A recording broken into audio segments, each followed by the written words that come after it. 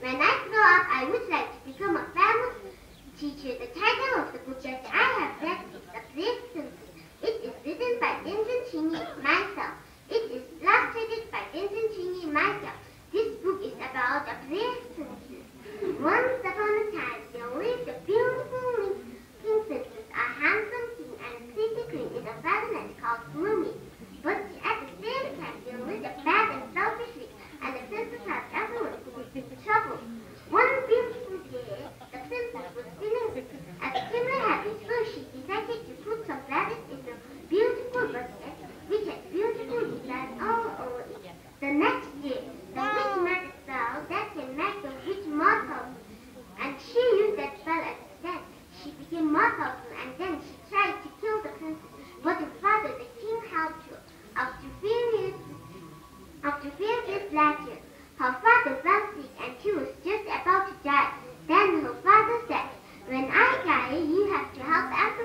because the witches became more powerful and she acted suddenly.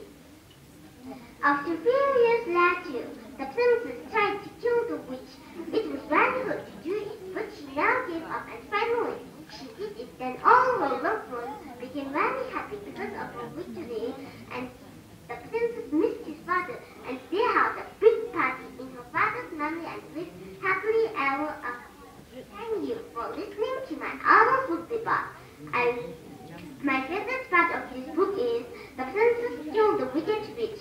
I would like to recommend this book to my friends because there are many beautiful sentences and there are many new words for learning for the small kids. I may I have your comments please?